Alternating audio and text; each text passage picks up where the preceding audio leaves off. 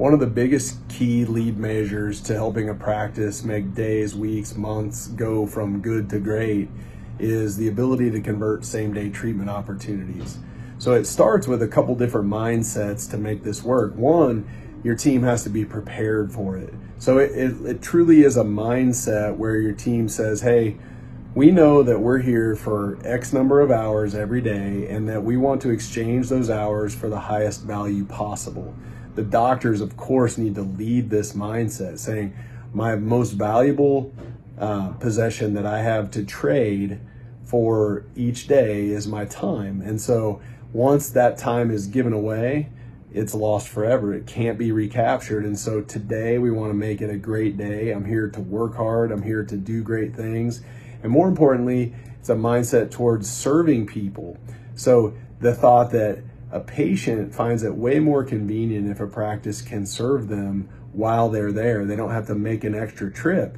So your team needs to see it as an act of service, needs to see it as something where they value their time, they value your time rigorously. It has to be a mindset towards that. And so it starts there with the preparation. Say, when can we put these patients in if need be? Who's coming today that might need this treatment, might need extra treatment? And certainly then there's the emergency, the limiteds, the people that are coming in, and the people in the hygiene rooms that have treatment on their treatment plan.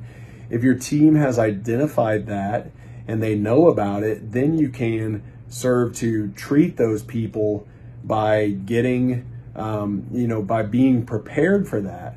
But then the next part, of course, is in the urgency message where we're com- consistently communicating with patients as, you know, you, I'm uncomfortable with the situation that's going on right here. I am not comfortable leaving that infection in there. I'm not comfortable leaving that cavity.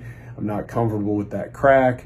Um, I, I would like to see you get that treated. So, R, I recommend that we do this treatment for you and G go forward by uh, we already know when the opportunities in our schedule are. And so we go I'm uncomfortable with it. That's the U the R as I recommend. The G is the go forward.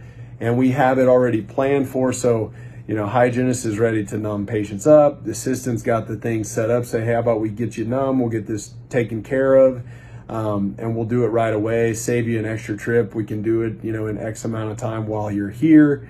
And that's how we we make it so we have a culture of daily going daily, you know, where where we continually go higher from where we started because we've we've moved in treatment each day.